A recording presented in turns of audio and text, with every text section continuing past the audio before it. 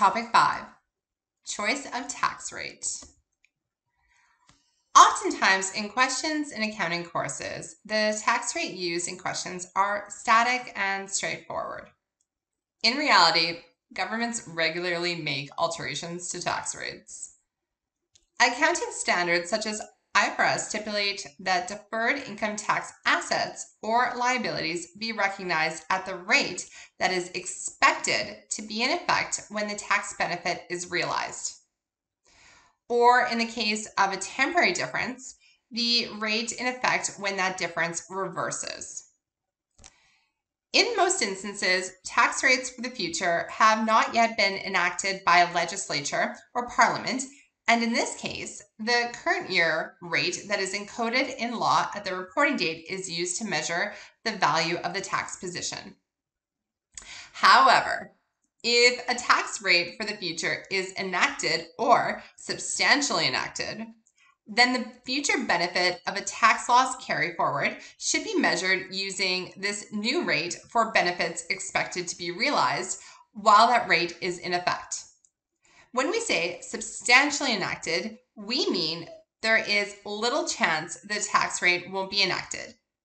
For example, if Parliament and the Senate have voted for a law changing tax rates and it is simply waiting for royal assent, it would be said to be substantially enacted.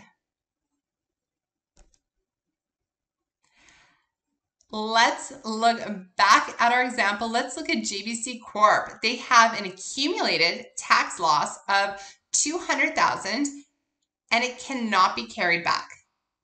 As the company has deemed it probable that it will be used, they have recognized an asset at the rate in effect of 25%. That is, they have a deferred income tax asset on their balance sheet for $50,000. However, JBC Corp becomes aware that Parliament has passed a new law enacting a tax rate for all future years of 20%. The asset must thus be written down to a value of 40,000. The entry for this change is as follows. Debit income tax expense, so refer, reversing out 10,000 of that previous benefit or recovery um, and crediting the deferred income tax asset of 10,000.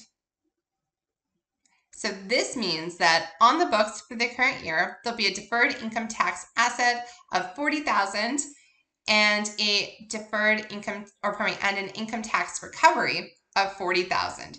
This 10,000 is to reflect the economic reality that the tax rate went from 25% down to 20% interesting way of when a tax rate falls, how it can actually negatively impact the asset position of a company.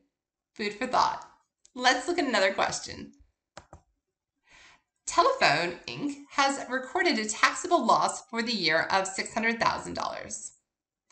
The company, in consultation with its auditors, has determined it is probable that the benefit of this tax loss will be realized and has used the in effect tax rate of 40% to record a deferred income tax asset in the amount of 240,000. However, shortly before the company is next required to report its results, the Canadian government enacted a new law increasing the tax rate to 45%. What is the amount of the income tax recovery recorded? Is it A, 270,000. B, 108,000. C, 30,000. Or D, 40,000.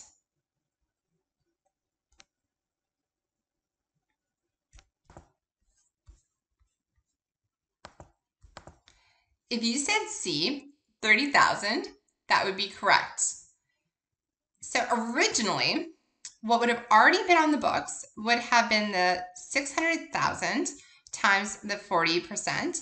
So an deferred income tax asset and corresponding recovery of 240,000. Then when the Canadian government enacted the uh, the new tax rate at 45%, a new amount needed to be recovered. So this is already on the books. So when when it was determined that the new rate of 45% was substantially enacted, 45% times 600,000 equals 270,000 would be the amount of the future expected recovery. 270 minus what's already on the books of 240 means that there's an additional 30,000 in income tax recovery. So we would need an increase of 30,000 to income tax recovery, which is why C is the correct answer. All right, thank you so much. I'll see you in the next video.